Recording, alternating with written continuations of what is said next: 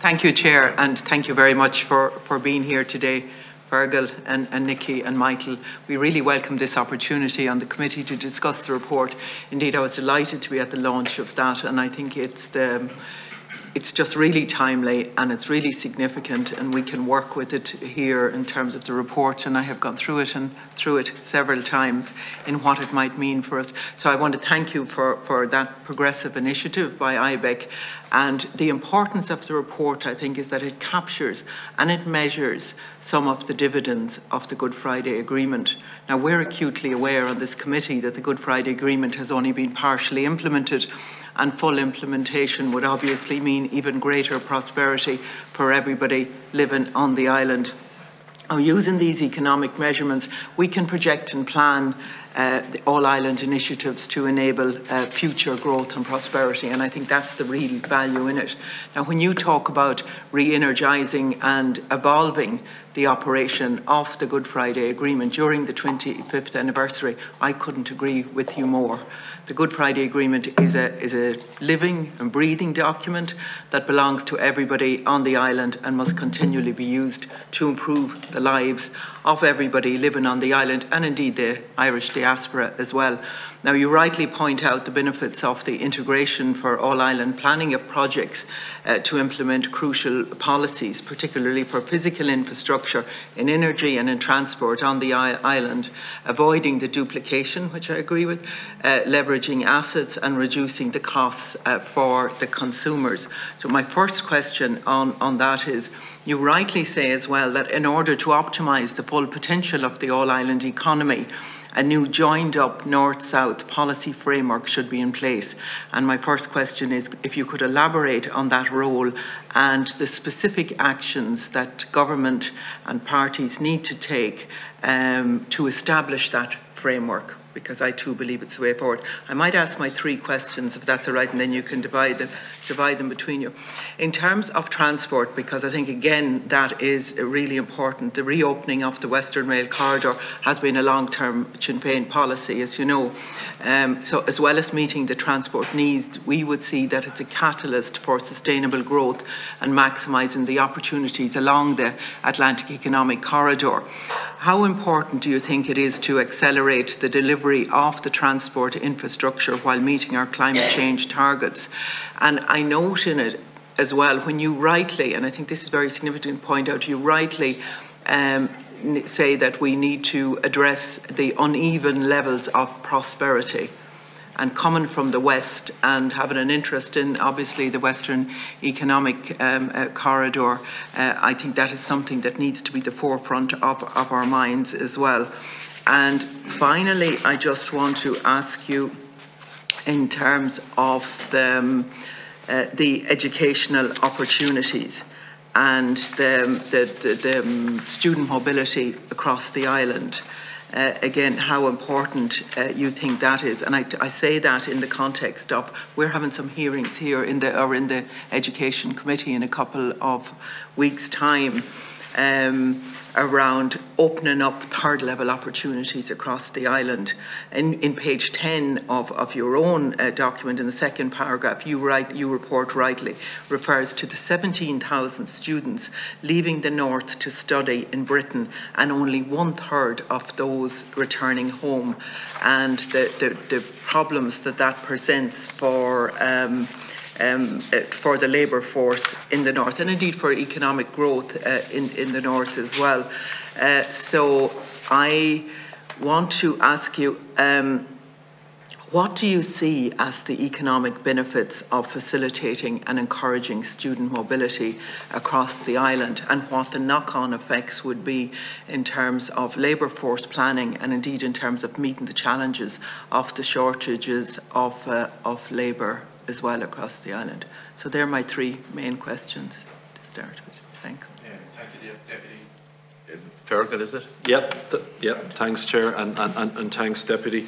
Um, so I, I, might start, and I might ask my colleague Michael to, to come in on some of these as well, particularly maybe in relation to how we envisage the future evolution of the framework. Um, just in terms of, of context, and again, the, the, the earlier comments from the chair in terms of, and as you rightly positioned this deputy, in terms of the economic significance that we see it of Belfast Good Friday Agreement. When you think of, I suppose, of the Celtic Tiger phenomenon in Ireland, I, I think there were there were many factors in its success, but I don't think that the Belfast Good Friday Agreement has ever gotten full recognition as one of those key factors, actually, that saw the unprecedented levels of prosperity over the last two decades um, albeit with, with some interruptions, obviously. So, so I, th I think, and, and, I think it's really important now that uh, for the 25th anniversary that you know we and this is where we see the role of business. Mm. That business has to tell this kind of story of economy and what it meant for for investment and employment and, and all of the other factors that we mentioned. Um, to, to, to work through your questions, and again I'll work backwards maybe. Um, on the educational piece, one of the things that we're noticing, we had been noticing before COVID and has become much more evident since, is the degree to which the all island labour market is now functioning as a, as a single labour market. So that is much more pronounced than it would have been in the past. We note in our report that we now have a labour force on the island of 3.6 million. So it's got real scale. And whether you're an indigenous company or you're a global company coming to establish operations in Europe or on this island, they're looking at that opportunity of the 3.6 million and the kind of nature and diversity of skills that they can get within that within within, within that labour force. So again, in, in, this in this in this new world of work, distance from your employer doesn't matter. Um, having those skills on the island and having kind of reasonable kind of access, you know, through good public transport, which we'll come to as well, um, is important, right? So the, it has really opened up the all-island labour market. So I think that's going to become much more of a phenomenon in terms of making sure that we have an all-island labour market that works seamlessly in all its facets through an education system, through skilling and upskilling, and then through the um, through the regulatory framework, particularly around social welfare and tax. And we have a lot of concerns that we're not doing enough actually mm. to, to really get the most and the optimum out of that all-island labour market. To your very specific point then on, on education, you know, where we have um, students choosing, I suppose, to, to pursue education outside or away from the island, we know that there is a less probability of them returning to, to bring those skills and that education back to the all island economy. So we definitely see that as a challenge. And then we can see in both jurisdictions that we have various pinch points, blockages, shortages of capacity, um, whereby students are in many cases almost being forced to, to leave the island, in, again in both jurisdictions, to, to pursue their educational opportunities. So there, there, there, is, a, a there is a less, um, less opportunity to be able to bring those back in, into our workforce, where that's going to be in health. Um, I was listening to recently the story of veterinary students that are in such large numbers going to Eastern Europe. Um, Can I just Ireland. ask you on the veterinary yeah. thing, because we're obviously under, it, it's an ongoing discussion mm -hmm. here now, we've expressions of interest. Would you think that it's crucially important to have the same, to have a veterinary school, wherever it is, that would cater for the needs of all of the island and not just in this state, so that there wouldn't need to be conversion courses and everything after that, that we need to get it right from the beginning? And, well, I suppose our, our main observation of this would be the opportunity, again, of the economies of scale.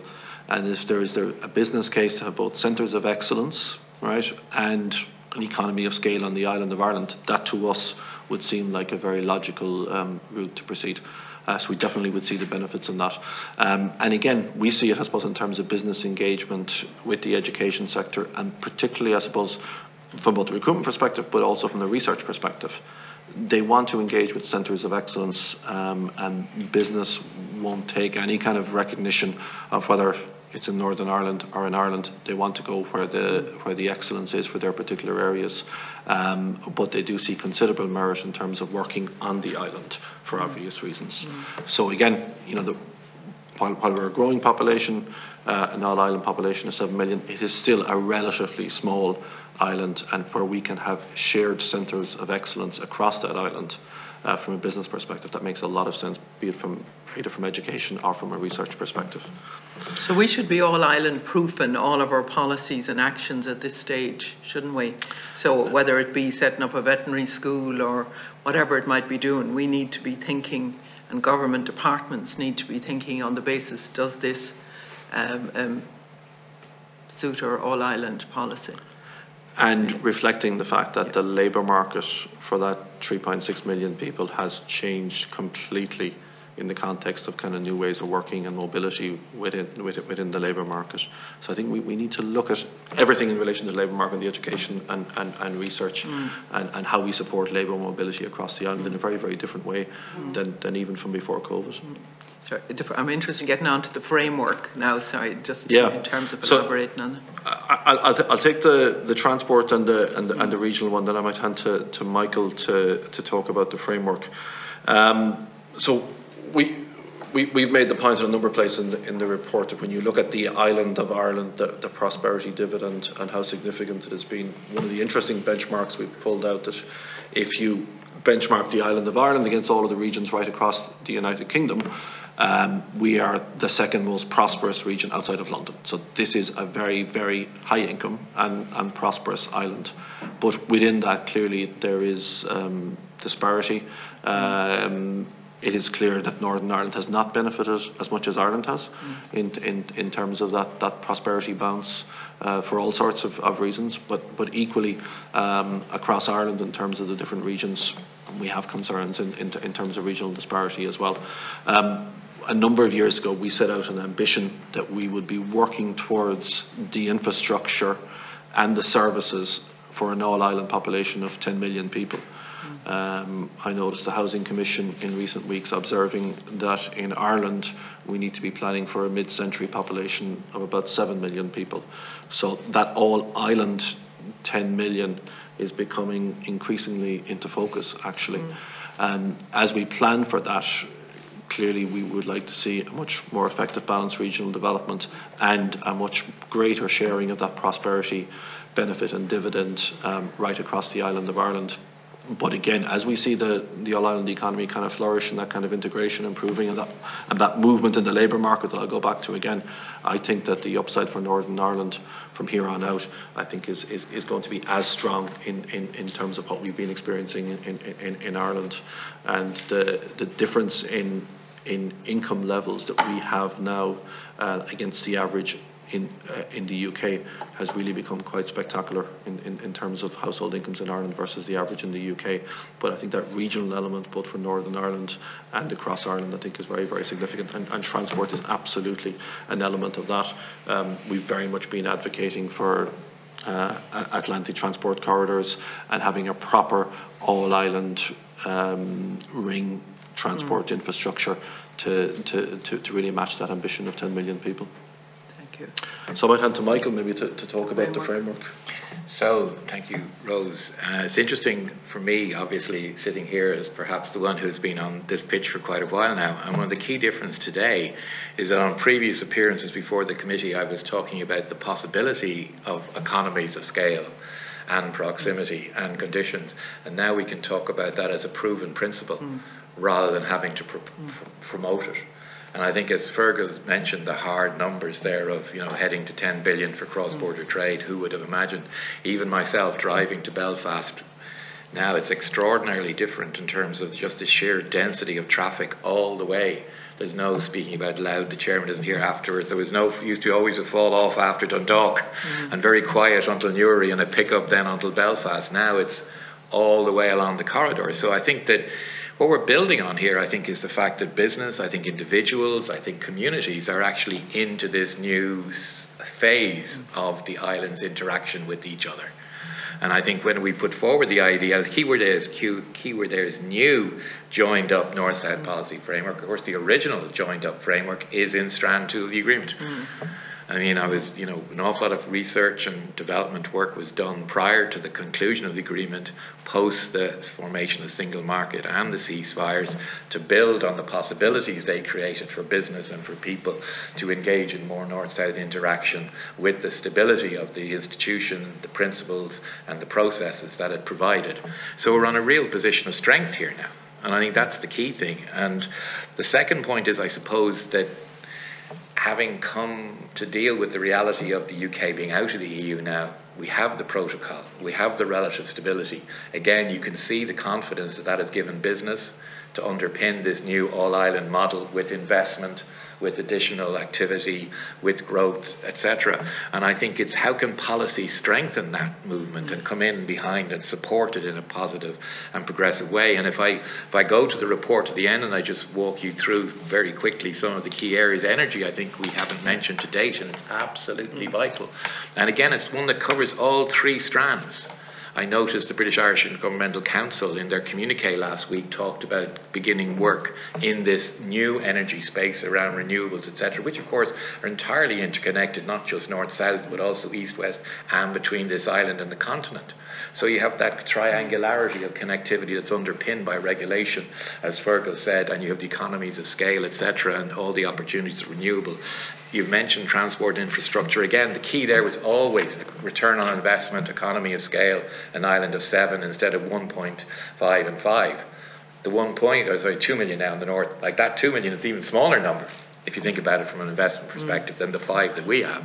So the combining of the two actually is the real mutual benefit from a Northern Ireland perspective. In terms of R&D, again in an all-Ireland context, we have Science Foundation Ireland, we have the work of the universities. We can see how academics sharing knowledge, experience, and all developing in the unique conditions of the island, going back to veterinary, as you were saying, medicine we have with cardiology. I mean, identify this in the 2013 report. It's excellent. Centre of excellence for the island makes more sense than two centres of excellence. It always does, especially in a specialist area. Um, we have we mentioned FDI, which I know you have a particular interest in, and I know we have the model of Tourism Ireland, in terms of promoting it. We know internationally companies look to invest in the island as a whole. There are difficulties, obviously, with agencies, etc. But surely we can work out some way mm. of presenting, you know, particularly sectors like agri-food that are connected to the experience economy and tourism, some new narrative that we can we can work in, in in terms of presenting to an international audience and use the 25th anniversary of the Good Friday Agreement to do so, particularly in the United States where there is a really sharp focus on how the US can continue to support the process at the political level mm. and being able to uh, kind of communicate that to the to the business community I think would be really positive as well. Mm. Um, you know that I suppose to tackle the hard nut, people often talk about well unionism won't engage, but I know from my work with the Joint Business Council that mm. businesses, irrespective of the personal convictions of the chief executive, will follow where the money and yeah. where the opportunity. So I think it's important to have opportunities to connect with uh, with the business people on the ground who are doing the hard work to make their place more productive, but are running into obstacles and difficulties. So anything that can be done in support from this side of the border, I think, is important mm. to help out in that regard.